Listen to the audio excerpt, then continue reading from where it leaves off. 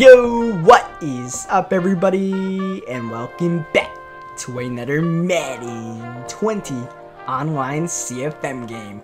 We are now in week 5 of the 2021 season here in the Premier Madden League. It's the one quarter point of the 2021 season for our Miami Dolphins. We are 4-0 on paper, but a quick recap looking through our first games of the season will let you know that this undefeated start has been anything but normal and anything but easy. Last week's game against the Buffalo Bills was probably the most calm game of the season where we kicked three field goals and won the game. The previous week, we passed for 15 yards and won the game. Like, what is the 2021 Miami Dolphins? They're undefeated, and that's all that matters, right? The New Orleans Saints this season have not won a game, and that's all that matters to them, even though the Saints have one of the best rosters in this CFM, and their 0-3 start is pretty surprising. So would it be that much of a shock if the Saints defeated the Dolphins today? Well, you just gotta tune in and find out any given Sunday, right? Our Miami Dolphins are going to be straightened heading into this game today because Lyn-J Dixon, our rookie running back, has unlocked his second superstar ability, which just so happens to be Human Joystick, one of the best abilities to have on a running back in this game. So we will see what Dixon can bring to the table today. The guy we are going against using the New Orleans Saints, Nefarious, he has his own YouTube channel that I will link in the comment section below. He uploads his own CFM videos with his New Orleans Saints. So if you guys want to watch someone besides myself in the CFM, definitely check out Nefarious' channel as we are underway in Miami. It's week 5 action, Saints versus Dolphins. Do the Dolphins stay undefeated or do the Saints pull off the early upset and get their first win of the year? If they want to win this game, they have to dial up Michael Thomas's number early and often as Alvin Kamara breaking a man's ankles and getting to midfield. The man at the helm today, Kyle Allen. Yeah, that Kyle Allen from the Carolina Panthers. Drew Brees is still on the Saints, but he has regressed immensely, so he is riding the pine right now. And the job, starting quarterback, it's all Kyle Allen's, and he's doing pretty well so far until he gets taken down by Jerome Baker. A loss of six on the play. Allen, watch out! This time it's Big Derrick Brown. The Big Brown truck forcing the loss of 10, and now this is borderline field goal range as the Saints just handed off a mercy call right there to give Wil Lutz a chance to put up the first points of the game. It is up, and it is good in sunny Miami. The Miami weather cannot always be kind, we have seen in this CFM. Sometimes it can be really rainy and really ugly. Sometimes, though, we get a nice game like this. And I enjoy these games where it's nice and sunny because, especially with our Dolphins team and our passing attack or lack of passing attack, I should say, we'd like to air this ball out and you know, these weather conditions definitely favor the passing game unless DeAndre Hopkins does not get both feet in bounds. Last time we were on the gridiron, DeAndre Hopkins had a pretty good game. Six catches, 100 yards. We finally got D-Hop involved. We need to continue to get number 10 involved if we want to win football games because not every game is going to be like week three against the Saints. Oh, down goes Tate. It's Cam Jordan off the edge. Jordan looking for a sack again, but this time Tate gets it off and DeAndre DeAndre Hopkins makes the catch. D Hop. Oh man, he might be in for a big game today as Jakeem Grant trying to slither his way through, maybe getting a yard. Second down, Lyn-J Dixon using that human joystick to avoid the tackle for loss. It's now third down and goal at the four late first quarter. It's a screen pass.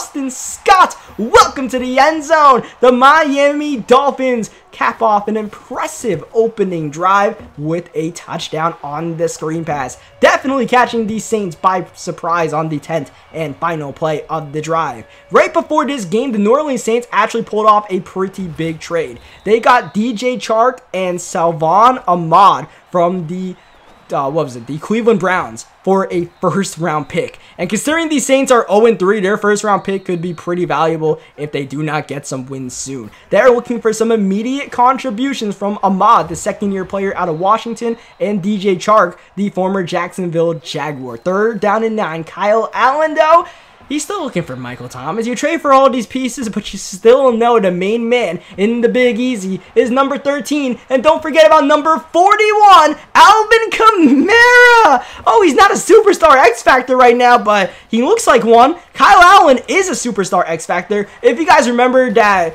commissioner carousel that we talked about during week three, the New Orleans Saints did participate in the commissioner carousel. They swapped Kyle Allen's abilities with Alvin Kamara. So that's how that all happened. Second down nine. Allen looking for Kamara. Doesn't work out there. That pass is incomplete. Third down. This is a man in motion. It's Ahmed. He's not going anywhere. Malik Harrison has him in his grasp. His third tackle of the game already for Harrison and the second field goal of the game for Wil Lutz. The offense has been pretty productive for this Saints squad so far as they are hanging in pretty well for the Dolphins and well, unfortunately for them, two field goals to show for it. If we get a touchdown here, then all of a sudden this game could be busted wide open. As Breshad Perriman was kind of getting nice with it out there. As Tate, oh, he's intercepted. That's Marcus Williams with the plunder. The ball was intended for DeAndre Hopkins, but the Saints had a beat on that one. The ball might be going to DeAndre a little bit too much. This one intended for Michael Thomas. Swatted away by Bryce Hall, the standout second year man. Third down and eight for Kyle Allen. Standing tall and intercepted yes, Caden Sterns. Look at Caden Sterns fly. Allen trying to contain, which he barely does, forcing Sterns out of bounds, but not after the return gets him all the way to the 22 yard line. The Dolphins in prime field position. Second down and 16 up the middle. It's Mike Gesicki in the end zone. The tight end that sometimes gets lost in the shuffle finds himself in the end zone for the second touchdown of the first half for the Miami Dolphins, who look like a team that is capable of passing the ball. Not something we have been able to say too much about this squad as Ahmed up the middle. And this guy traded just not too long ago by the Cleveland Browns to the Saints is definitely playing a big factor in today's game. Already 8 rushes, 50 yards, and taking away touches from Alvin Kamara, working out just fine for the Saints though. That check down not going to get too much. It's going to be third down and long. The Saints have been pretty good on third down so far. Allen middle. He's got Tre'Quan Smith. Allen threading the needle, finding his man right before the two minute warning. Dangerous pass intended for DJ Chark. He's lucky that was incomplete, so the drive stays alive. Ahmed up the middle. Watch out, you don't want to take a big hit from Caden Sterns, as our previous opponents have learned. Third down and five. Allen again is money on third down. And again, Michael Thomas is money on any down. Ahmed trying to knife his way in the end zone to give the Saints maybe a chance of tying the game. Minute 25 left. Allen middle. It's Thomas it's a touchdown. The Dolphins have their hands full because you can't guard Mike. No matter what we do, Michael Thomas is getting open, and that needs to be addressed immediately. In the meantime, we will try to extend our one-point lead with a minute 23 left in the first half. The Saints opting not to chase points, which with over 11 minutes to go in this game in regulation, not a bad decision. Oh my, oh my, DeAndre Hopkins with major separation on that out route, getting sticky and getting out of bounds. Big as we try to score maybe a touchdown here. That's not going to help too much. That keeps the clock running. Next play, Tate downfield. He's got Hopkins. Nuke gone. Touchdown down Miami again. Eli Apple, a superstar in this league, could not contain DeAndre Hopkins on that play, who broke the press immediately. Tate saw it and delivered the dime, which is not something Khalil Tate has always been able to say. Last week, we missed DeAndre Hopkins deep downfield despite the rainy conditions. Still felt like Tate could have made that ball happen. Week one, we missed DeAndre Hopkins downfield wide open for a touchdown against the Atlanta Falcons. Oh, wow! Caden Nearly changing the game. Definitely changing the way Ahmed's going to be running the ball for the rest of the game. Popping that one loose. Terron Armstead, the left, left tackle, definitely saved the day for the Saints because that would have put the Dolphins in field goal range. Especially with the Dolphins getting the ball to start the second half. DeAndre Hopkins is lit. There's a flag. Oh, defensive pass interference. D-Hop, he has double me activated, and he took advantage there. Flag on the play for the second play in a row. This time it's going against the Miami Dolphins, an immediate holding penalty, so that takes away the first down rush by Lyn-J Dixon. Oh no! Oh yes! DeAndre Hopkins again! Touchdown Miami! Nuke is going well, nuke mode right now. Oh, even Marshon Lattimore can't contain that man. I mean, he has double me activated. Someone send a message to the New Orleans Saints about what double me does, because clearly He's not doubling, and DeAndre Hopkins is definitely doing them dirty. So it's now 13 to 28. Game ball on the ground again, and picked up by the Saints again. This time Malik Harrison off the edge, but the Saints maintain possession. And oh, watch out! Oh, that's not even going to be pass interference. All right, play ball, play on. Could have been intercepted. Could have been a first down for the Saints. Instead, third down and 18. And Ricardo Allen's on fire. Everybody's on fire for this Saints team or this Dolphins team right now. We are riding all the waves of momentum um, Allen. Nothing really open. Oh, except Caden Sterns, who dropped the interception. That would have given us great field position, but nonetheless, we're doing everything right right now. And for the Saints, this has to hurt because they were the team that felt like was executing flawlessly, had marched downfield, gotten that touchdown to Michael Thomas, made it a one point game, and now all of a sudden they're down by 15 points with the ball in the hand of Khalil Tate, looking for DeAndre Hopkins, who is still on fire, who is still not being doubled. Oh, wow. Marshon Lattimore swats the ball away and forces the three and out. All that momentum gone. Double me gone. We could have had the first down. There's a slant wide open to, I believe, Grant, but man, double me was activated. I took my chance. Unfortunately, I guess a superstar cornerback was able to break that one up in Marshon Lattimore, and here come the Saints. They have a chance to sneak back into this game, but field goals will not get the job done. The way the Dolphins are playing today, the way we are airing this ball out, we're going to need to see some touchdowns from Kyle Allen and this Saints offensive attack. Second down and nine, Ahmed, who is having a great game on the ground, continuing that flow, getting a decent gain, and here's Ahmed again on third down and four, catching the Dolphins by surprise, and moving the chains to the 37-yard line. Allen standing tall with the blitz in his face, finding the tight end. Hodges moved the chains again for the Saints. This might be their best drive of the day until now. Just like the opening drive, a sack might undo everything. Malik Harrison again forcing the pressure. Oh, Thomas nearly makes the catch. Half the Dolphins defense nearly makes the catch instead. Third down and super long down goes Allen. Avery Young probably knocked him out of field goal range, but Wil Lutz is looking to try a 61 yarder, and that is good. Field goal is not good for the Saints, but in that situation, you take three points when your kicker makes a 61 yarder on fourth down and a mile.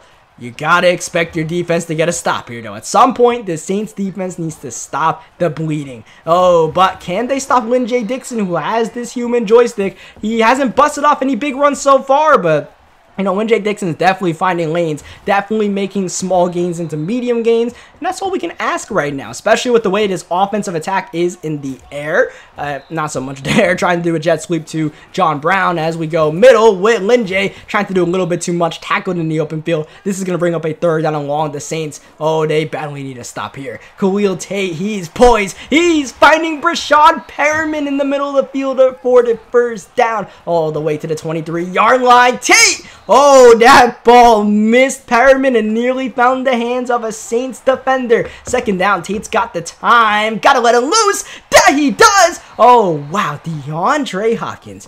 Is this why this, this team traded for DeAndre Hopkins or what? all the moves in the offseason and even in the first couple of weeks this season are all coming into fruition right now. Bringing Khalil Tate in, yeah, that was a good idea. Maybe not a great idea. Like Josh Rosen was cool and all, but Khalil Tate, the reason why he's at our starting quarterback right now was the vision that he could eventually become worthy of being our guy our starting quarterback, DeAndre Hopkins, why was he brought here? To have games like this, where he has double me and he has over 200 yards receiving. Ricardo Allen, he was brought in to make a play or two in the secondary. That's about all, just compensation for Josh Rosen.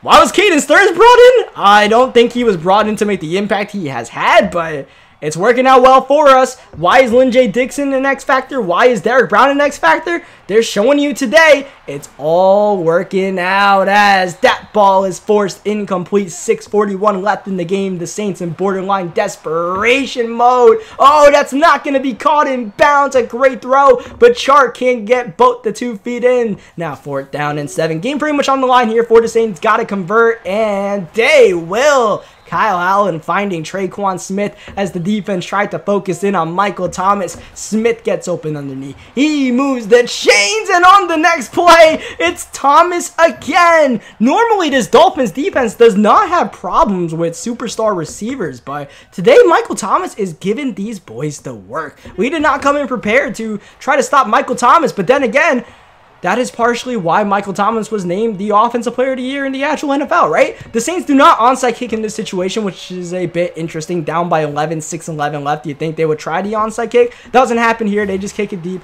They're going to rely on their defense to get a stop, which, um, you know, we'll see how that works out for them. Hasn't worked out too well so far. Khalil Tate downfield. He's looking for Hopkins. And Marshon Lattimore wins that battle again. Forces the incompletion. Second down. Tate's got to let him loose. He does. Nice completion to Jakeem Grant. Take the yards that are there. It's now third down and five. We got to get at least five, if not more. And we're definitely looking for more. And we will get it this time. Yes, DeAndre Hopkins comes up with the grab. Big first down. A play that DeAndre did not make against the Buffalo Bills. He makes it this time around, and that play is definitely not going to work. We have ourselves a third down and long. We'll try to look for DeAndre Hopkins again. Instead, we go underneath to Lyn-J Dixon. Very conservative throw here by Khalil Tate, even though it's not going to get a first down. Three minutes left in the game. We chewed up some clock in that drive. That is, I would say, a somewhat successful drive at this point. You know, just got to make sure we don't give up a quick touchdown with the Saints having all three of their timeouts, just make sure we cover over the top, take some time away from this thing, maybe force a turnover,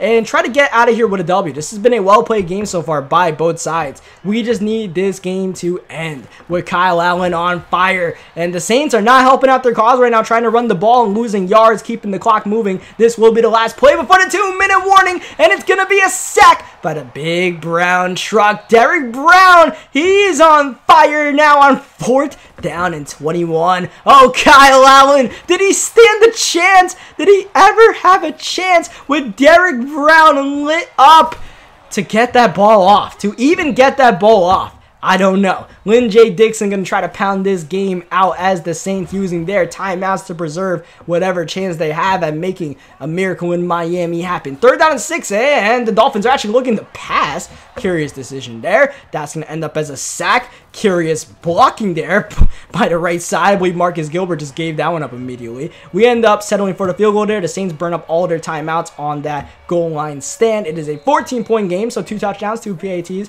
will tie the game up, but obviously you need an onside kick at some point in this game, and yeah, like I said, we're just going to cover everything over the top, keep everything in bounds, watch that clock shoot out, definitely make us happy. Minute 13 left in the game. Every moment Kyle Allen tries to dial up a hot route, fine by us. Now minute 8 left in the game. Tick tock, tick tock. Clock is, or play is finally snapped. Look at Derrick Brown inside there, man. You got to get this ball out quick because Derrick Brown is unstoppable force. He has to be doubled, and even that's not enough. Third down. Michael Thomas has to be doubled. But then again, sometimes that's not enough. Michael Thomas again. Oh, man. Michael Thomas is definitely doing his thing out here. That's for certain. So why not go to Mike again? This time, finally, we make a play on the ball. Bryce Hall with the interception. Hall has been a bit quiet this season as opposed to last season, but Bryce Hall is still not a man you want to throw at too many times. The Miami Dolphins do indeed stay undefeated. We move to a 5-0 record after a win against the Saints.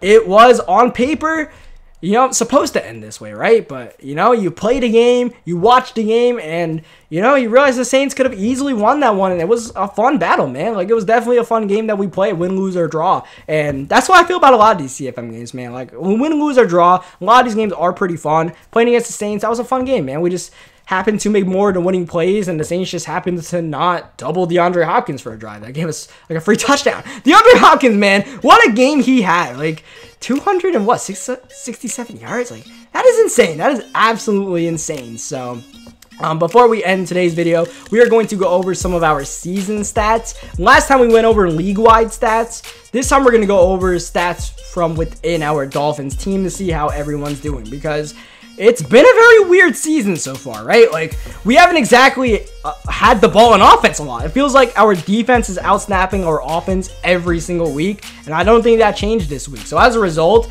we have one of the worst passing attacks, and Khalil Tate's stats are going to look pretty bad, but I mean, we are 5 and 0 and we are somewhat figuring out this whole, you know, passing the ball thing after last week. Just give the or that game, just give the ball to DeAndre Hopkins and let him do his thing. So next week we take on the Jacksonville Jaguars. That should be a pretty interesting game as you guys see. Lyn-J Dixon, he is on pace for getting a thousand yards rushing, which is something we haven't had on this Dolphins team in this entire CFM. So that would be nice. DeAndre Hopkins definitely on pace for a thousand yards receiving after that spectacular performance. Otherwise, though, we need to get Collin Johnson and Jakeem Grant a bit more involved in this passing game. I feel like so.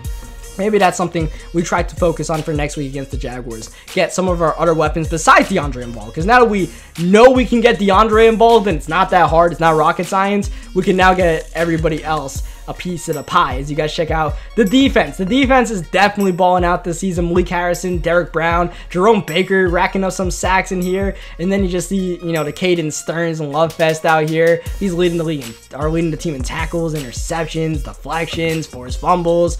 Caden Sterns, definitely a potential defensive player of the year candidate. We'll try to keep our eye on that. But I'll pretty much do it for today's video. Leave a like if you guys enjoyed what you guys saw today. Subscribe for more Madden 20 gameplays, especially if you guys want to keep up with this online CFM. And I will catch you guys next time. Thank you, as always, for watching.